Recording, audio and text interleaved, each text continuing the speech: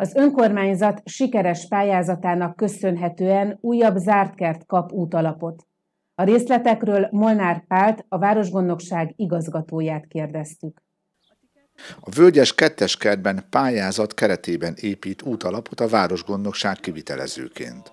Korábban a Rokkankert környékét rakták rendbe. Itt sem kellett lakossági önerő. Június végére közel 600 méteres útszakaszon készül el a zúzott kőburkolat, s várják a következő pályázatot, hogy le is aszfaltozhassák. Itt egy pályázat keretében kerti útalapot épít a Városgondnokság, kivitelezőként megkapta ezt a pályázati munkát.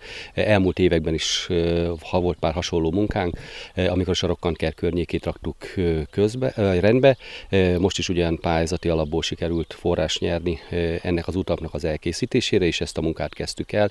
Június végéig be kell ezt fejeznünk. Közel 600 méteres útszakaszon készül szilárd útalap. Természetesen ez csak ékelőkővel lesz ellátva, aszfalt burkolatot egyelőre nem kap még.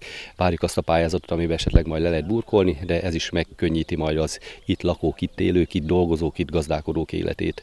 Szerencsére olyan pályázati kiírás volt, ami önerőmentes volt, tehát ehhez nem kell az itt lakóknak hozzájárulni, és valamint már a pályázat is úgy lett előkészítve, amely előkészítő munkában már a vázsgonoság is részlet, hogy pontosan ki tudjuk számolni azt, hogy mennyi forrás szükséges ahhoz, hogy itt biztonsággal, költségek tekintetében biztonsággal el tudjuk az útalapot készíteni.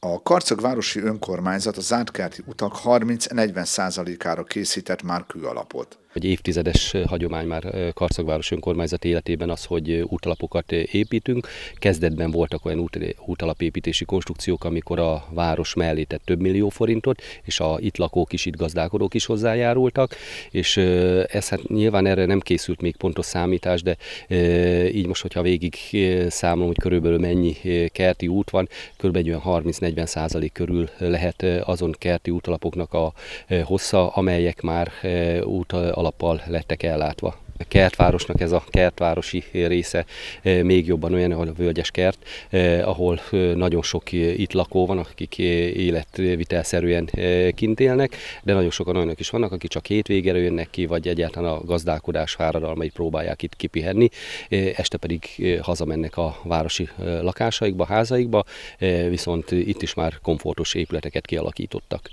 Mindenhol pozitív visszajelzések vannak az érintett lakosoktól, gazdálkodóktól.